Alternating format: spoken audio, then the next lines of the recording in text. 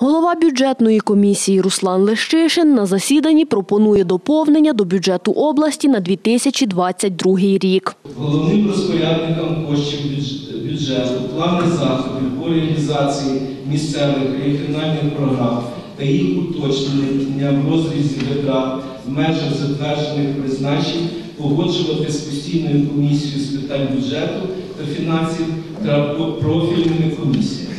Це рішення викликає сумніви в депутатки від політичної партії за конкретні справи обласної ради Уляни Ткаченко.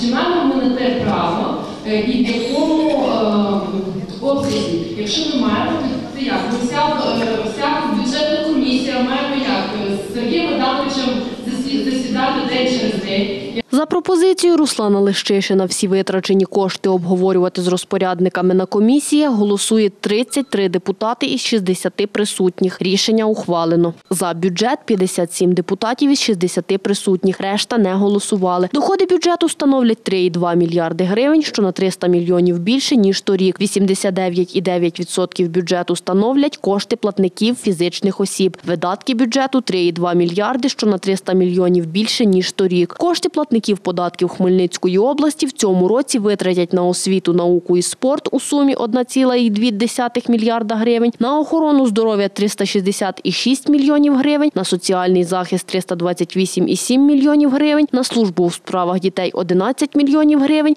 на культуру 210,3 мільйонів гривень. Зокрема, 150 тисяч гривень витратять на новостворений обласний музей в Маліївцях. Голова обласної ради Віолета Лабазюк говорить, цей бюджет є базовим. Це заробітні плати по закладах комунальної власності, власниками якої є Хмельницька обласна рада. Потім впродовж року, принаймні впродовж 2021 року, ми з депутатами йшли двічі на уточнення бюджету, зміни до бюджету, де ми можемо вже фізично виділяти наявний фінансовий ресурс на кап видатки Голова бюджетної комісії Руслан Лещишин так пояснює збільшення бюджету в цьому році. За рахунок е, платників податків, збільшення мінімальної заробітної плати, з якої платиться ПДФО, яке є основним джерелом надходження е, обласного бюджету, плюс збільшення державних субвенцій е, в обласний бюджет.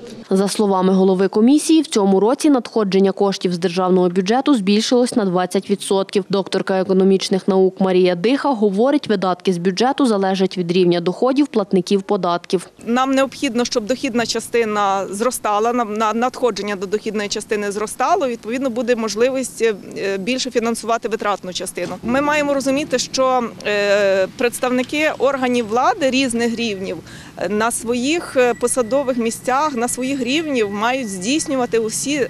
Е, Заходи і виконувати функції на належному рівні для того, щоб бізнес міг е, працювати і здійснювати свою діяльність, і щоб збільшувалась кількість робочих місць. Статистику щодо зменшення кількості робочих місць населення, яке виїхало за межі України е, протягом е, 2021 року, вражає. За її словами, для збільшення доходів потрібно залучати також інвестиції. Діана Колесник, Світлана Поробок, Іван Мовчан. Новини на Суспільному. Хмельницький.